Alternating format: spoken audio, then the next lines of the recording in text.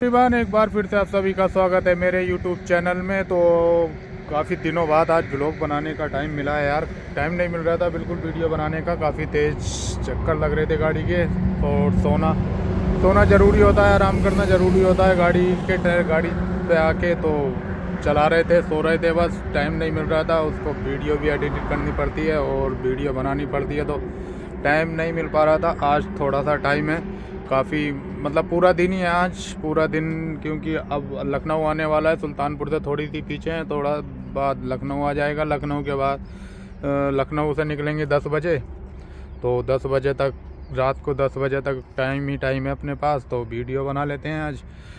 तो अभी पहुँच चुके हैं सुल्तानपुर, सुबह सुबह का टाइम है, लगभग छः बजे हैं अभी, और काफ़ी खूबसूरत मौसम है, थोड़ा थोड़ी धुंध है, लेकिन नॉर्मली मौसम है, ज़्यादा धुंध नहीं है आज।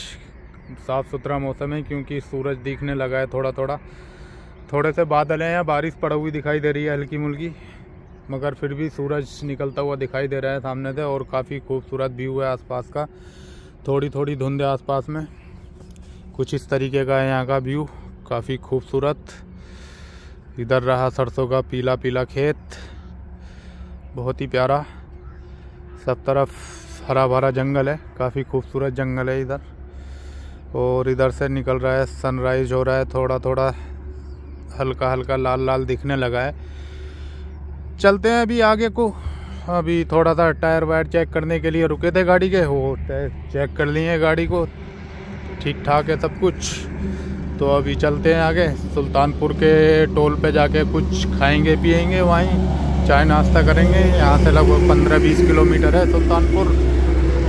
उसके बाद आगे निकलेंगे चाय नाश्ता करके। यहाँ तो अभी कुछ नहीं मिलेगा, सुल्तानपुर टोल पे ही है सब कुछ, चाय पानी, नाश्ते का जुगाड़ चलते हैं आगे को।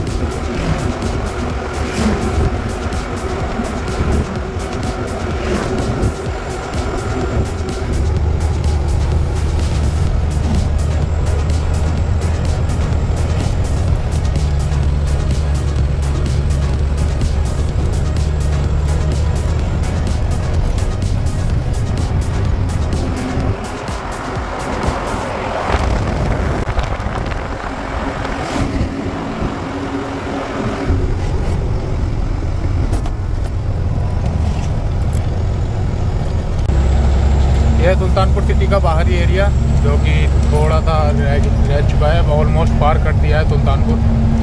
क्योंकि काफ़ी शॉर्ट हो गया है काफ़ी अच्छा टाइम मिल अच्छे टाइम पे पार हो जाता है क्योंकि फ्लाई ओवर चालू हो गया है वहाँ पे रेलवे क्रॉसिंग का चौराहा था काफ़ी बिज़ी रहता था लेकिन अभी फ्लाई ओवर बनने के बाद अच्छा पास हो जाता है जल्दी पास हो जाता है ज़्यादा जाम वाम नहीं मिलता पहले बहुत जाम लगता था लेकिन अभी ये थोड़ा सा चौराया है अभी भीड़ भाड़ नहीं है, यहाँ भी काफ़ी जाम लगता है, अभी भीड़ भाड़ नहीं है तो इस वजह से कोई भी परेशानी नहीं है अभी यहाँ निकालने में।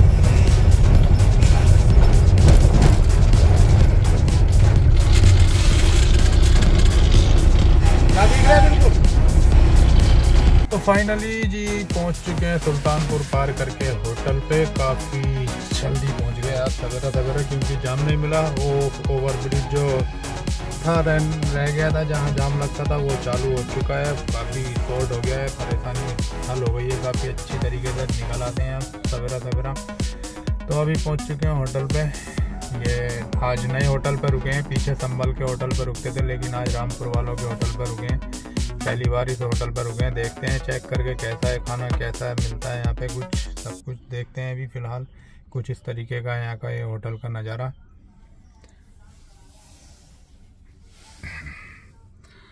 सुबह के बजे हम पहुँच चुके हैं होटल पे।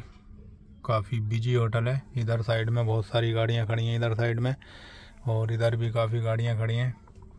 ये पहली बार इस होटल पर रुके हैं, देखते हैं कैसा मिलता है खाना। अभी फ़िलहाल बिरयानी खाते हैं। सुबह को, रात को गाड़ी चलाने वाले को भूख काफ़ी लग जाती है, क्योंकि पूरी रात जगने से काफ़ी बड़ी रातें हो रही हैं। सुबह, शाम को हमने खाना भी सवेरा खा लिया था। अभी चलते हैं फिर।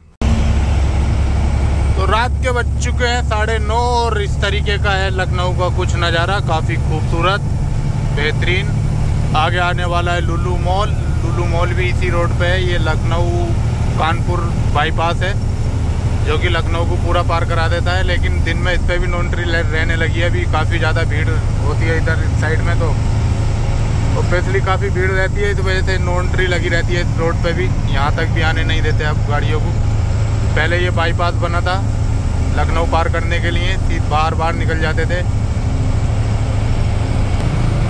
ये एरिया आता है लुलू मॉल, साइड काफ़ी लाइटिंग लगा रखी है छोटे छोटे वो हैं, लाइटें भी लगा रखी हैं, काफ़ी खूबसूरत। वो रहा साइड में लुलू मॉल।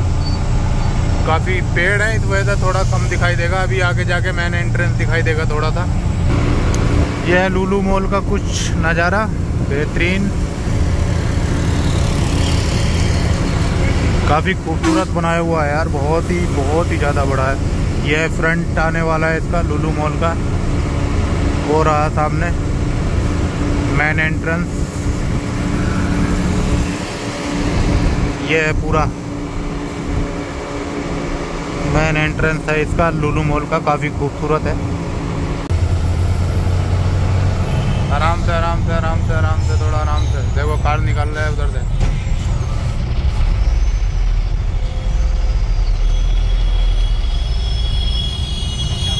चलो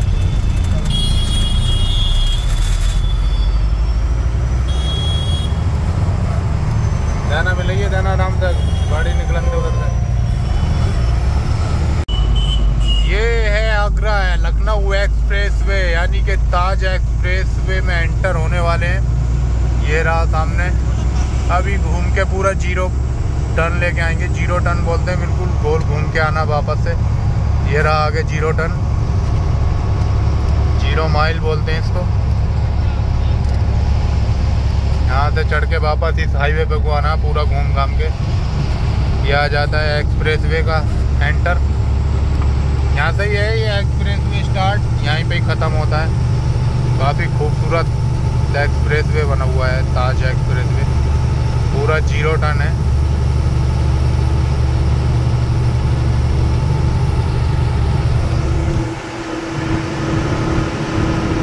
वो वहाँ से आ रहे हैं हम लोग घूम के पूरा। बहुत ही प्यारा, ताज एक्सप्रेस वे बनाया है। मज़ा आता है गाड़ी चलाते हुए। फोर एट लाइन है one line one side four line है, एक एक साइड में चार लाइन है।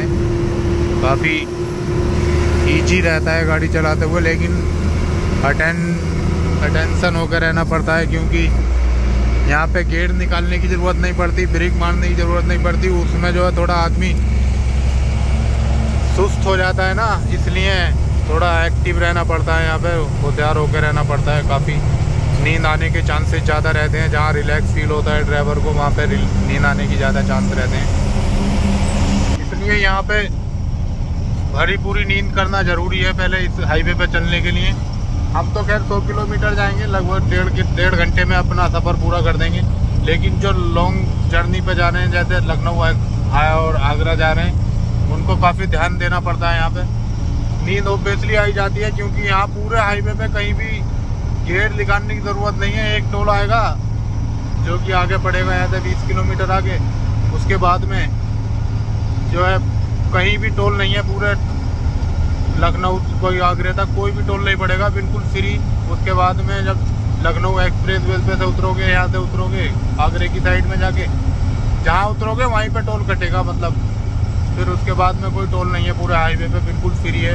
कहीं भी ब्रेक मारने की ज़रूरत नहीं है। उस साइड में मत चल रहा भाई। ये है एट लाइन फोर लाइन है एक साइड में, और सबसे पल्ली तरफ़ चलती है, सबसे अंदर की साइड में। अगर तुम्हें गाड़ी ओवरटेक करके जानी है दूसरी साइड को, गाड़ी से साइड लेनी है तो उस लाइन में जाके तुम साइड ले सकते हो।